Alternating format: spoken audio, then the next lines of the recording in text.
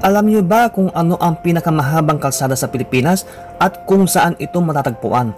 Bago natin simulan, bago ka lang sa aking channel, mag-subscribe ka na muna, i-like, pindutin ang kampana para updated ka sa mga video na i-upload. Dito lang iyan. PNP Facts. Ang pinakamahabang kalsada sa Pilipinas ay ang Pan-Philippine Highway o ang mas kilala sa tawag na Maharlika Highway. Ito ay pinag-ugnay-ugnay na kalsada, tulay at mga serbisyo ng barko na umaabot sa 3,517 na kilometro o 2,185 na milya. Ang haba na kumukonekta sa mga pulo ng Luzon, Samar, Leyte at maging ang Mindanao sa Pilipinas na sumiserbisyo sa pangunahing gulugod ng transportasyon. Sa lungsod ng Lawag sa Ilocos Norte, sa Luzon, ang hilagang dulo ng daanan dadaanan sa Samar at Leyte, Visayas hanggang sa lungsod ng Zamboanga, ang timog na dulo ng Mindanao. Unang ipresinenta ang kalsada taong 1965 at itinayo noong panunungkulan ni Pangulong Ferdinand Marcos. Ang tagapagplano mula sa pamahalaan ay naniniwala na ang daanan ay mapagpapasigla sa agrikultural na produksyon at magpapababa sa gastos sa transportasyon. Nang mapatapos ang proyektong ito, sinasabing isa ito sa mga pangunahing naabot ng bansa sa sektor ng transportasyon at sa tulong ng pahamalang Hapon, mas pinahusay at pinaunlad muli ang daanang noong 1997 at tinawag itong Philippine-Japan Friendship Highway. At kung ikaw naman ay may planong pumunta sa pinakamahabang tulay sa Pilipinas, ito yung mga pangunahing rota na dapat mong tahakin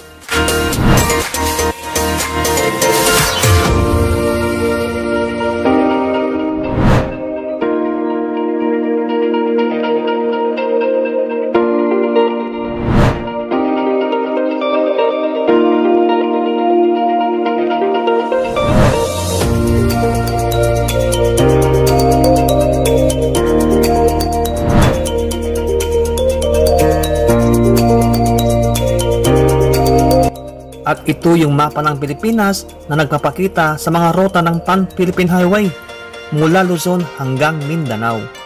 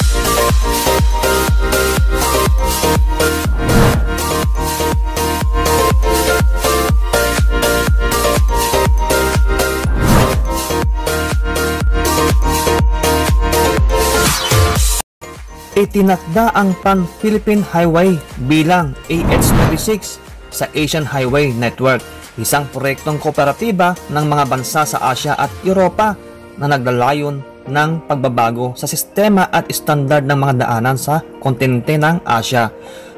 O paano, ngayon alam mo na kung saan at kung paano pumunta sa pinakamahabang kalsada sa Pilipinas. Ikaw, saan ka ng Pilipinas? I-comment mo sa ibaba. Hanggang dito na lang. Salamat sa panonood. Ops, kung hindi pa napanood ang mga video na to na mga kasunod, pwede mong i-click at panoorin. Salamat! Huwag mo rin kalimutang mag-subscribe, i-like, i-share ang video na ito at para active ka lagi. Pindutin mo lang ang bell